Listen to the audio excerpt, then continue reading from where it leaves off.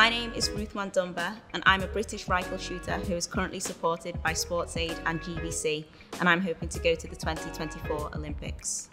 My name is Granville Williams. I am an e-learning coordinator at GVC as part of the talent and development team. I'm also a member of a team of volunteers who are working on creating a children's Black History learning platform. So Ruth, how did you start doing what you're doing? So I was in the Army Cadets at school um, between the ages of 13 and 18. And we used to go around the country doing summer camps. And one of the activities that they'd have us do was shooting. And from the beginning, I was just hooked on it. So I decided to carry on. And that's how I'm doing it today. How about you? So um, prior to the current role I'm in at GVC, um, I taught history um, for nine years at an inner city um, all boys secondary school. So I've always been passionate about education, learning, and history.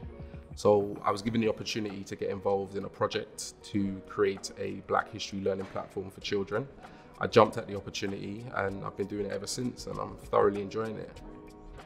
So, what motivates you to do what you do? I'm a strong believer in self motivation, and I think that just comes from naturally being quite a driven and ambitious person.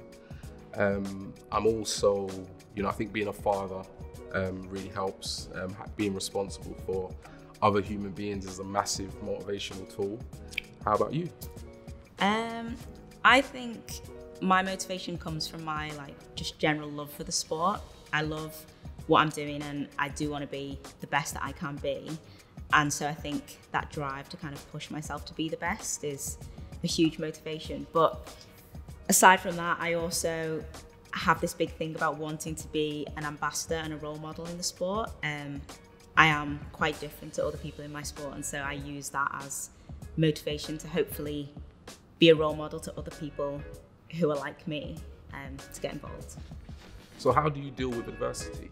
I'd say that I'm really big on like mental training and um, strengthening the mental side of not just sport but everything else in my life as well.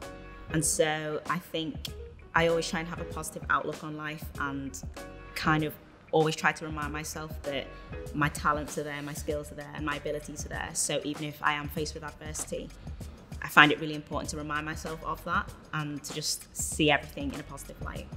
So you mentioned that you were involved in developing this new educational platform. Who do you think needs to be educated? I think everybody needs to be educated. Um, a lack of education or miseducation is what can often lead to ignorance.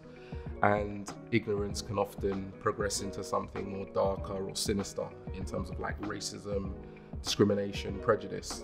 So, no matter what point we are in our lives, I think if the opportunity arises for us to educate ourselves or educate other people, I think we should definitely take that opportunity. So, do you have any thoughts on education at all? I do. I think um, so. For me in particular, when I was growing up, I don't remember really seeing much Black history at all in my education throughout school, um, and it's sad, I guess, as a Black child to not know about your history. Um, so I do think that, like you say, it is something that you know could change. And then I also think, from a sporting perspective, it would be great to see you know, the history of black athletes, especially black British athletes. Um, I think it'd be a great way to kind of inspire young black kids, but also give them a way to learn about their history as well.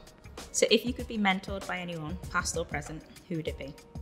So, if I could be mentored by anybody at all, it would definitely be Barack Obama. Um, and the reason why I say that is because he single-handedly achieved what I think most people would assume would have been impossible, and that was becoming, you know, the first Black president of the United States of America. Um, in terms of you, like, if it were me, um, I'd have to say Rosa Parks.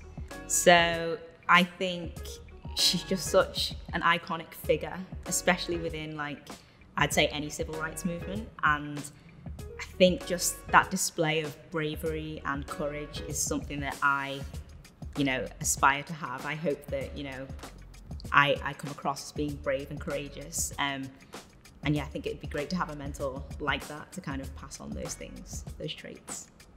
So, what does Black History Month mean to you? So I think um, I use Black History Month as a time to kind of reflect on where I come from and my origins. Um, so my parents moved to the UK over two and a half decades ago now, and I think I'm always so grateful that they made that choice and you know chose that path for their lives because it's allowed me to experience so many opportunities that I wouldn't have had if they hadn't have chosen that. Um, and I'm also so incredibly proud to be able to call myself Black British because you know it's a term that I use to describe myself with pride, as I say, because once upon a time that's a duality that would have seemed impossible. Um, so yeah, I just I always use this month to reflect on that and think of you know the positivities of Black History Month and why it is so important. How about you? In terms of my heritage, my dad came to this country from the Caribbean islands, um, and that was actually during the Windrush generation. So we had a very um, indifferent experience when he first came to this country, um, notably for the fact that you know he was black, um, and also he had lots of like qualifications, lots of experience that wasn't like necessarily recognized in this country. So he kind of had to really kind of start a whole new life, um, which was very difficult for him. Um, so, you know, Black History for Month for me is it's a period of time, like I said, for us all to reflect and acknowledge what, what Black culture has brought um, to Great Britain, um, but also just from a personal perspective for me to kind of get in touch with, you know, my culture um, and my history.